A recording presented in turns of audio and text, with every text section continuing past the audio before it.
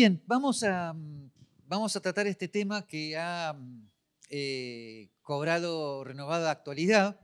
Decía que esto ha cobrado cierta actualidad porque habrán visto que el presidente argentino siempre dice en sus discursos eh, la definición de liberalismo como el respeto irrestricto al proyecto de vida del prójimo. Eh, después voy a hacer una pequeña opinión sobre esa definición, pero fíjense que ahí aparece la palabra respeto. Y entonces, no me van a negar que es una palabra que utilizamos mucho, eh, pero habría que mm, caracterizarla un poco, definirla un poquito. Podemos decir, tengo respeto por tu opinión, respeto a esa persona, tengo respeto por el paciente, el respeto a la persona, etcétera, etcétera, pero ¿qué quiere decir eso en última instancia?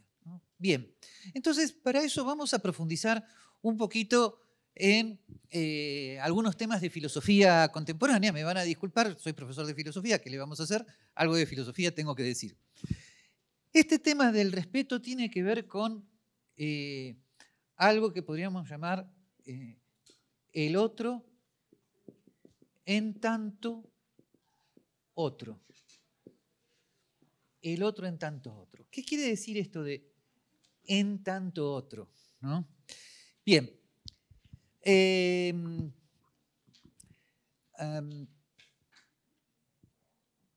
eh, supongamos em, la relación que yo tengo con, con esta, eh, con esta, ¿cómo le dicen acá? Fibra, ¿no? Con una, con un, sí, con un marcador, un marcador. Bien. Claro, el marcador es otro, otra cosa diferente de mí, ok, pero la relación que yo tengo con esta otra cosa es una relación que un gran filósofo contemporáneo, Martin Buber, eh, la llama yo eso. O sea, ¿cuál es la relación que yo tengo con eso, con esa cosa? Cosa, no en Santo Tomás, pero sí en la filosofía contemporánea, quiere decir no persona, esa cosa. ¿Qué relación tengo con esa cosa no persona?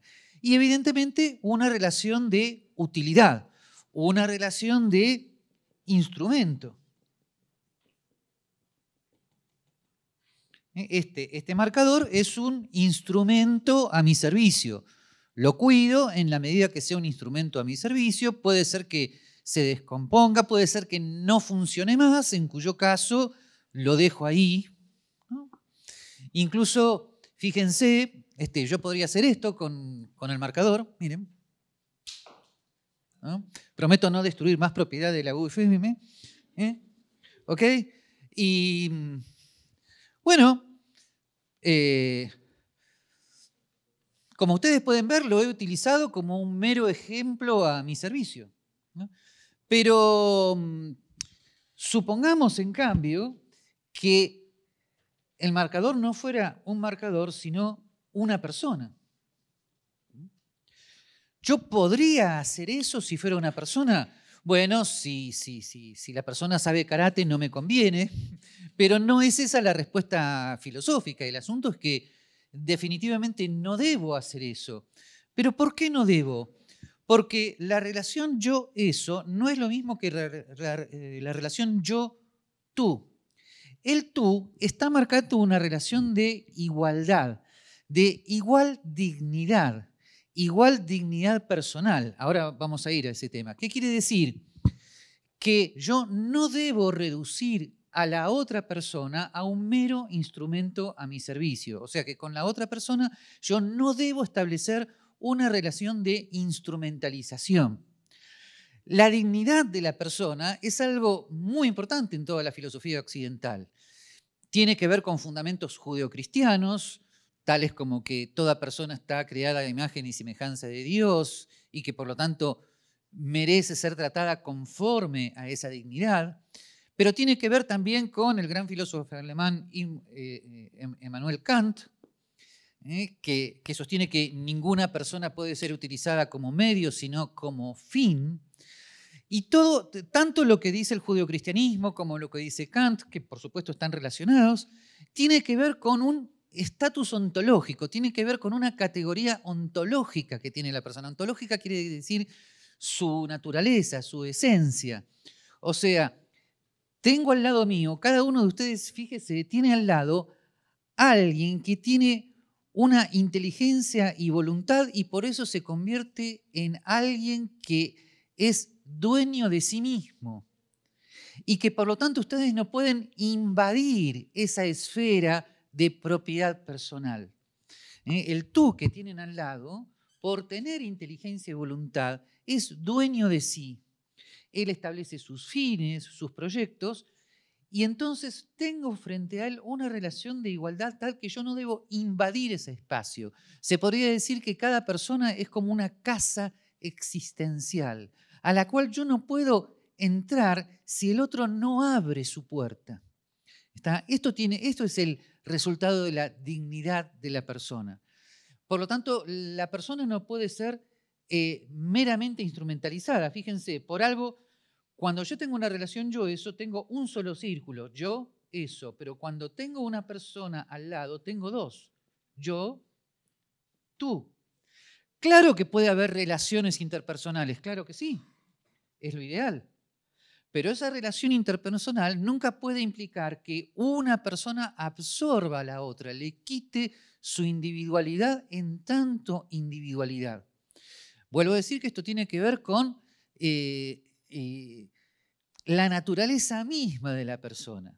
Ya sea que sean creyentes o no, si son creyentes porque está creado imagen y semejanza de Dios, si no son creyentes es que es una criatura racional autónoma en el sano sentido del término, en el sentido que tiene inteligencia, voluntad y por lo tanto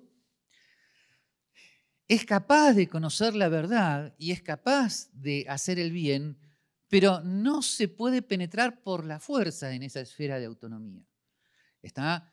Eh, no se la puede invadir en sus aspectos más íntimos, en sus decisiones personales más importantes su religión, por ejemplo. Yo no puedo imponerle la verdad por la fuerza. Ninguna otra verdad puedo imponerle por la fuerza, porque la verdad se acepta solamente por la fuerza misma de la verdad. La verdad no tiene que ver con ninguna imposición. Y por lo tanto, la verdad sobre sí mismo, la verdad sobre mi propia naturaleza, sobre mi vocación personal, sobre mi proyecto personal, es una verdad que la persona tiene que ver por sí misma. La puedo ayudar, pero no puedo invadirla, no, puedo forzarla. ¿está? Puedo intentar dialogar con ella, pero no forzar su pensamiento. ¿está? Entonces, esto tiene que ver con el tanto otro. Por lo tanto, el respeto tiene que ver con esto. Respetar a la otra persona es considerarla en tanto otro, por lo tanto, em, es eh, admitir su condición de persona es tratar a la otra persona como persona, es respetarla. De aquí surgen precisamente lo que tantas veces habrán escuchado hablar de los derechos individuales de la persona, la, su libertad de expresión, su libertad religiosa, su libertad de asociación, viene precisamente de aquí, que es una persona con la cual yo puedo establecer una relación dialógica, o de intercambio voluntario, pero no puedo penetrar, no puedo invadir. Eso es lo que también algunos pensadores liberales llaman el principio de no agresión.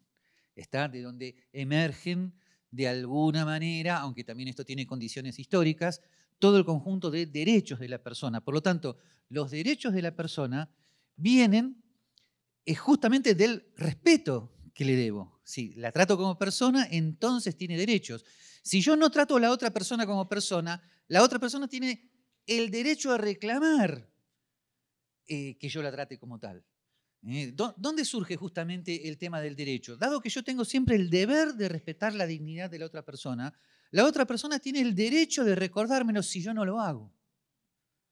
¿Está? Este, los derechos individuales en ese sentido eh, siempre de alguna manera están ejercidos eh, por mi propia libertad y están reclamados cuando el otro no cumple esa situación de respeto. Esto para que lo hablemos después, ¿no? Pero incluso, incluso en un sistema penal liberal, el criminal tiene eh, derecho al debido proceso.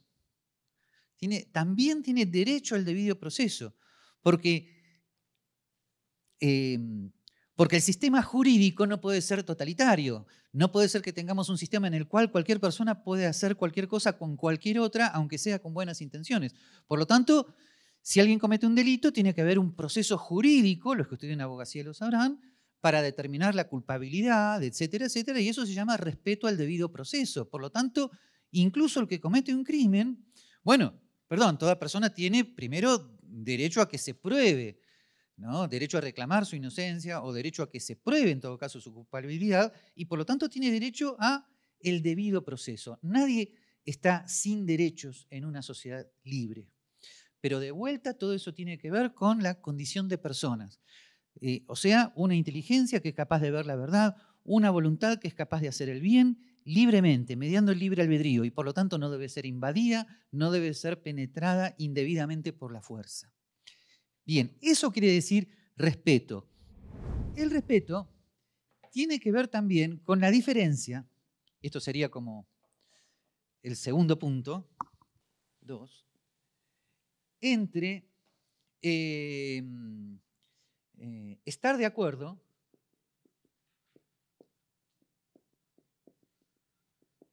y comprender.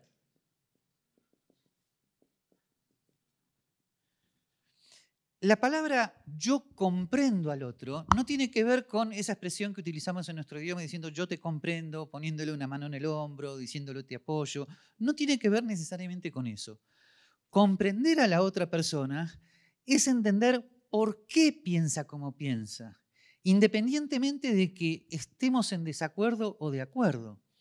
Entonces, eh, este tema de la comprensión del pensamiento del otro también aumenta nuestras posibilidades de respeto. ¿Por qué? Porque cuando estamos en desacuerdo con la otra persona, habitualmente suponemos, lo más, lo más corriente, es suponer que la otra persona piensa diferente a lo que nosotros consideramos obvio o evidente porque esa otra persona es mala o es tonta. Piensa diferente a nosotros, bueno, entonces es malo o es tonto, no, este, tiene mm, su inteligencia disminuida. Y no, no es así. Lo que ocurre es que muchas veces lo que dice la otra persona nos resulta incomprensible ¿Pero por qué? Porque nuestro propio pensamiento choca con el otro. Pero cuando estamos dialogando con una persona, comprender significa entender el por qué. Entender el por qué. Por más en desacuerdo que estemos, entender el por qué está diciendo lo que está diciendo. Y eso lleva a un acto de comprensión, de interpretación, entender el por qué. Entonces, em, eh, a ver, este, eh, yo estoy de acuerdo con la socialización de los medios de producción, no. Estoy de acuerdo con un socialista que en el sistema político se presente diciendo que él está de acuerdo con la socialización, no, no estoy de acuerdo. Pero lo que nos puede llevar a una situación de comprensión mutua es que yo entienda por qué él lo dice y que él a su vez pueda entender por qué yo pienso diferente. Eh, entonces, em, eh, un marxista, ¿por qué piensa lo que piensa? Y porque está de acuerdo con la teoría de la explotación de Marx. ¿De dónde viene la teoría de la explotación de Marx? Y viene de la teoría del valor costo de producción, del valor eh, del valor trabajo, que de alguna manera se encontraba incoada en David Ricardo, en Adam Smith, que a su vez había sido una mala manera de resolver la paradoja del valor en los economistas clásicos. Todo esto de alguna manera ya lo estarán estudiando. Bueno, eso nos lleva a una comprensión de dónde viene lo que él piensa. Entonces, yo lo voy a tratar con mayor respeto porque sé que lo que está diciendo se basa en una determinada teoría y si yo estoy en desacuerdo con él, tengo que presentarle una teoría que logre refutar su propia teoría. Entonces, el respeto tiene también que ver con la comprensión del pensamiento del otro. Por supuesto que hay gente que repite cosas sin pensar en lo que está diciendo, pero aún en este caso, El respeto a la otra persona implica tratar de adoptar una actitud de ayuda, de enseñanza. Si no quiere escucharnos, no lo podemos forzar. Pero tratar de emplear un lenguaje tal que la otra persona se sienta invitada al diálogo con nosotros. Y eso es el tercer punto, eh, que, que es que el respeto lleva a un lenguaje dialógico. Y esto es algo que tiene que ver profundamente con lo que podríamos llamar no tanto liberalismo, sino una actitud liberal con el prójimo. ¿Qué tiene, que, qué esto de, lenguaje dialógico? ¿A qué me estoy refiriendo? Eh, primer punto del lenguaje dialógico. Respetar, ya que estamos hablando de respeto, en el otro el derecho a la interpelación. ¿Qué quiere decir esto? Tiene que ver con eh, que dado que yo no puedo imponer la verdad por la fuerza, el otro tiene derecho a pensar lo que yo estoy diciendo, como ustedes en este momento están haciendo con lo que yo estoy diciendo. Están pensando en lo que yo... Bueno, por ahí están pensando en cualquier otra cosa, pero supongamos que estuvieran pensando en lo que yo estoy diciendo y está perfecto. ¿Ven? E, estaría muy mal que yo comenzara a hablar y ustedes dijeran, sí, por supuesto. Como también no sería del todo conveniente que yo dijera ah y usted dijera no. Cosa que pasa a veces, ¿no? No, el asunto es que yo hable, exponga mis razones y ustedes piensen. Y por lo tanto, como yo no puedo imponer por la verdad por la fuerza y ustedes están pensando en lo que yo digo, ustedes tienen derecho a la interpelación. ¿Qué quiere decir derecho en la interpelación? Derecho a estar en desacuerdo. Derecho a ejercer una distancia crítica con respecto a mi pensamiento. No, no porque, eh, porque ustedes necesariamente se opongan, no porque, comillas, como les decían cuando eran chicos, se estén portando mal o lo que fueran. Derecho a estar en desacuerdo significa derecho a exponer el propio pensamiento cuando el pensamiento del otro no me convence. ¿Eh? Hay una famosa película de Viaje a las Estrellas, ya sé que ustedes no ven Viaje a las Estrellas, que lo voy a hacer, me tengo que acostumbrar. ¿eh? Star Trek número 5, ¿no? Este, donde la nave es llevada a un supuesto planeta donde está Dios, aparece el supuesto Dios, el Dios le dice, ¿puedo utilizar la nave, el Enterprise, para expandir mi palabra frente a todo el universo? ¿No? Y entonces el capitán Kirk levanta la mano y dice, ¿puedo hacer una pregunta? Y ya al supuesto Dios no le gusta nada, ¿no? Este, y le dice, dígame, ¿por qué Dios necesita una nave? ¿no? Para eh, expandir su palabra en todo el universo. Y entonces ahí el supuesto Dios se enoja este, y le tira un rayo, no sé, al capitán Kirk. ¿Ven? Evidentemente, el supuesto Dios no respetaba el derecho a la interpelación.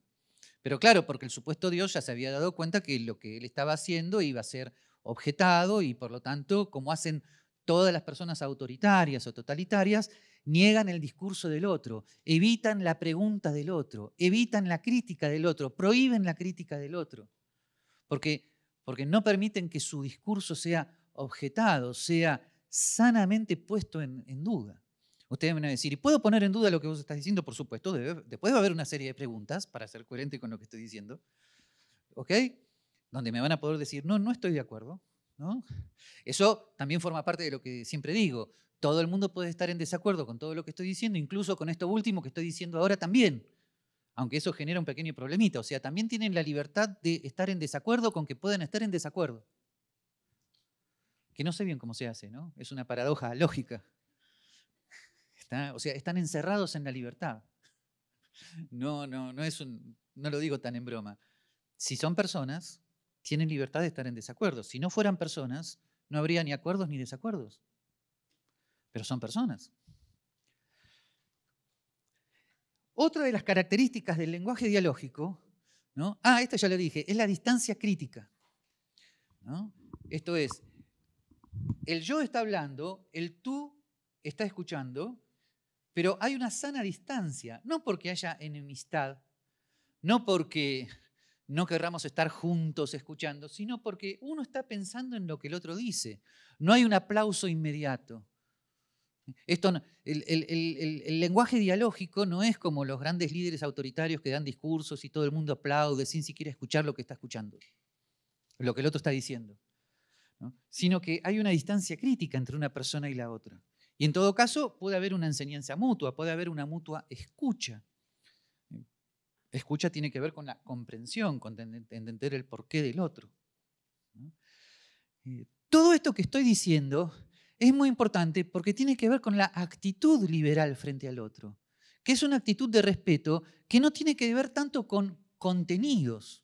Vamos a suponer, em, eh, vamos a suponer que yo eh, le digo a algún alumno, bueno, ven a tomar un café conmigo a la sala de profesores. Entonces vienes a tomar un café y, entonces el alumno en cuestión me dice, bueno, pero hay algo con lo que dice Mises con lo que no estoy del todo de acuerdo. Y entonces yo le digo al alumno, ah, entonces vete de aquí. O supongamos que ustedes invitan a su casa, a los compañeros a estudiar, pero, pero el que, eh, en mi casa el que esté en desacuerdo con Rothbard se va. El que esté en desacuerdo con Hayek es echado de mi casa.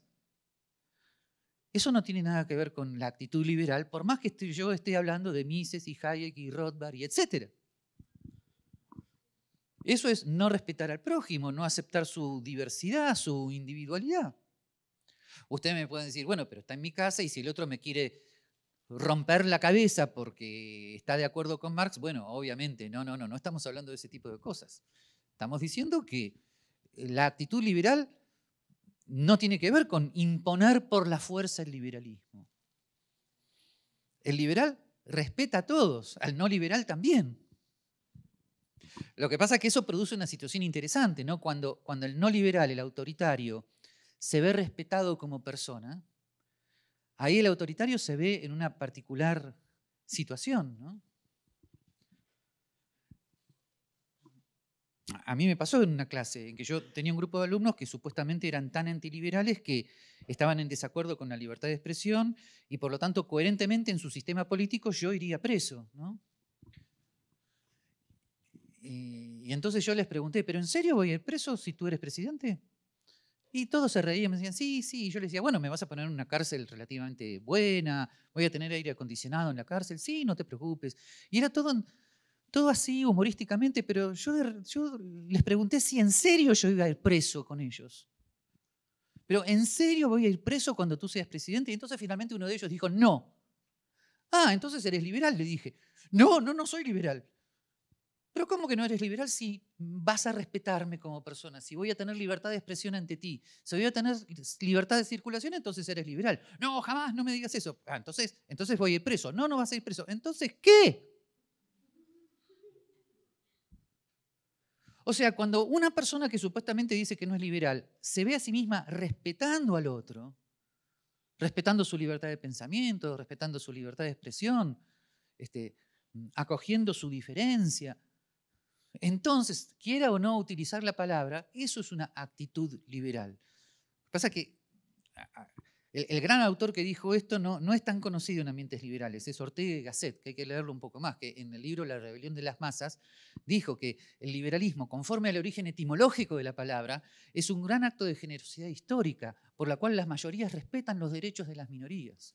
Finalmente, el liberalismo es un acto de generosidad histórica, es un acto casi de milagro histórico, por el cual en una declaración de independencia se dijo, todos los seres humanos son creados libres e iguales por Dios y otorgados de los siguientes derechos, a saber, esa, esa declaración de independencia fue un milagro de generosidad.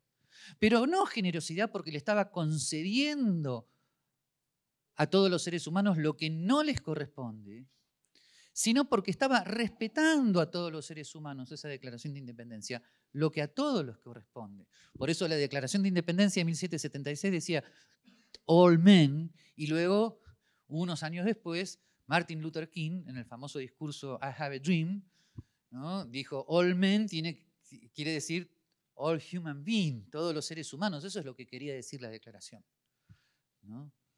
Bien. Por lo tanto, la actitud liberal no es tanto una cuestión de determinado contenido, sino una actitud radical hacia el otro de respeto en el sentido que estamos diciendo la palabra. Y ya que hablamos de, la, rebelión de las masas, justamente eh, el respeto eh, eh, y tratar a la otra como persona, como otra persona, no tiene nada que ver con la alienación. No alineación, sino alienación. ¿Qué quiere decir alienación? Alienación es todo lo contrario de lo que estamos diciendo. Alienación significa no respetar al otro en tanto otro, o no ser otro frente al otro, sino perder la condición de persona. En, vez de mantener la relación yo-tú, en la alienación la persona se convierte en un eso. La persona deja de, pierde su carácter de persona y se vuelve en una cosa. Pero claro, la persona no es que deja de ser persona, sino que se comporta como si no lo fuera. La alienación no consiste en ser víctima de la opresión. No, las víctimas de la opresión, como las víctimas de los nazis, las víctimas de los totalitarios como Stalin y Castro y etcétera, tenían conciencia de lo que les estaba ocurriendo, eran víctimas y se oponían y defendían su libertad. La alienación es un proceso psicológico mucho más delicado. La alienación es un proceso por el cual la persona de manera inconsciente pierde su individualidad y comienza a actuar conforme a la masa, comienza a actuar como si estuviera en un conjunto de hormigas. Em, hay muchos motivos psicológicos de la alienación. Por ejemplo, Sigmund Freud, en su libro Psicoanálisis de las masas y análisis del yo, decía que eran, eran de alguna manera problemas de neurosis que llevaban a la alienación, por ejemplo, la carencia de la figura paterna, el crecer biológicamente pero no madurar intelectual y psíquicamente, y buscar un nuevo padre en el padre que nunca tuvimos. Y entonces el dictador totalitario comienza a convertirse frente a nosotros en el padre que no tuvimos. Y por eso el dictador totalitario habla de mi pueblo. Y por eso ese pueblo frente al dictador totalitario se consideran como los hermanos como el pueblo frente al padre, que es el dictador, ¿no? este, como los inferiores frente al padre, y por eso el dictador totalitario dice lo que necesita mi pueblo, yo voy a hacer a mi pueblo feliz. Y la masa lo escucha como queriendo ser cuidada, como queriendo, por un conflicto inconsciente, ver en ese dictador al padre que no tuvieron nunca. O sea, están manifestando en esa masificación un conflicto, una fijación en una etapa infantil. Pueden tener ocho doctorados, hablar tres idiomas, ser arquitectos, ingenieros, economistas, pero igual, si se alienan frente al dictador totalitario, tienen una fijación infantil en un conflicto de neurosis infantil. Lo mismo, otro gran psicólogo, Víctor Frankl, dijo que lo esencial para el ser humano es encontrar el sentido de la vida. La gran pregunta es quién soy, cuál es mi vocación, cuál es el sentido de mi existencia. Pero que cuando no tengo ese sentido, cuando no he encontrado el sentido de mi vida, entonces puedo tomar un sentido de la existencia prestado. Entonces me convierto en el otro porque el otro es el que me da el sentido de la existencia que estoy buscando, pero no es que me lo da dialógicamente, sino que me lo da inconscientemente porque yo estoy vacío por dentro y al estar vacío por dentro el, otro penetra. Ven que no estamos hablando ahora de cuestiones de fuerza. Este, y lo mismo, por ejemplo, Eric Fromm en El miedo a la libertad. La tesis esencial de Eric Fromm es que el ser humano quiere ser individuo, pero tiene un terror a la soledad de ser individuo. Y por el terror a la soledad establece con el otro relaciones este, de dominación en la que acepto inconscientemente ser dominado por el otro, para no estar solo. La manera humana evolucionada de no estar solo es el amor auténtico, dice Eric Fromm. Pero claro, en el amor auténtico las dos personas se respetan mutuamente como personas. En cambio, en las relaciones de dominación es una que domina a la otra y el otro también encuentra el sentido de su vida en dominar. Y por eso el que busca el poder también está alienado el que busca el poder obsesivamente, porque cuando ya no tiene poder, no tiene nada. Y entonces necesita el poder. Fíjense, les nombré tres autores importantes, Sigmund Freud, Erich Fromm, Viktor Frankl, todos autores que explican ¿no? este tema de la masificación. Ortega y Gasset también en La rebelión de las masas. Y esto es importantísimo porque culturalmente, esto ya no tiene que ver con el sistema político, culturalmente, una sociedad en la cual la mayor parte de las personas estén vacías por dentro, sean infantiles psicológicamente y por lo tanto tiendan a situaciones de alienación, son sociedades que van a buscar dictadores totalitarios como gobierno. E, e, en ese sentido, el liberalismo político, desde el punto de vista cultural, es un, bien difícil, un bien arduo, como diría Aristóteles. Eh, necesita ciertas condiciones culturales que no siempre se dan. ¿Está? Nosotros por lo menos tenemos que ser conscientes de esto para que no nos suceda lo mismo. Y tratar dialógicamente al otro, tratar al otro en tanto otro, es el primer paso para no incurrir en la alienación del otro. ¿Está? Lo, lo que les estoy diciendo con esto es que la actitud liberal como respeto no es tanto un conjunto de contenidos, no es tanto conocer perfectamente la escuela austríaca o conocer perfectamente la doctrina política de John Locke. No, no, no, no es una actitud vital hacia el otro. En ese sentido, la actitud liberal de la vida es una actitud de respeto hacia el otro. Claro, no necesariamente, y acá concluyo con esto, el liberalismo es el respeto irrestricto al proyecto de vida del otro, porque el otro puede tener proyectos de vida que en sí mismos eh, sean objetables desde el punto de vista ético. O sea, no es que necesariamente tengo que respetar el proyecto de vida del otro, lo que tengo que respetar es al otro. El otro sí tiene derecho a, la intimidad personal, derecho a la libertad religiosa. es eso lo que debo respetar. Y si tiene un proyecto de vida que no coincide con mis valores, respetarlo en el sentido de no violentarlo. Pero no por ello no voy a poder entrar en diálogo con el otro, si el otro me lo permite, sobre cuáles son los valores más auténticos de la vida humana. El, liberal no es un escéptico sobre los valores más importantes de la vida humana. El liberal lo que hace es no imponerlos por la fuerza. ¿Está? Porque con esto concluyo. El respeto no tiene que ver con la indiferencia. La indiferencia es estar al lado del otro y decir, mira, vos haces lo que quieras, a mí no me importa, morite. Eso es indiferencia. Cuidado que a veces cierto liberalismo se presenta así, ¿no? Que el otro haga lo que quiera, que se muera. Ah, ah. Al liberal al otro le importa. Lo que no va a hacer el liberal es forzarlo al otro. ¿Ven la diferencia? Porque además, una cosa adicional,